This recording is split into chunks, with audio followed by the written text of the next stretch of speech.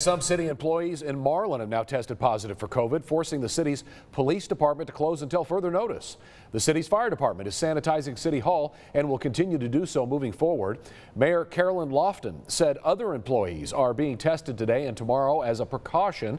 And she went on to say, quote, we cannot mandate anyone for the public to wear masks due to state regulations. However, we will be posting that we strongly recommend wearing a mask due to potential exposure within City Hall.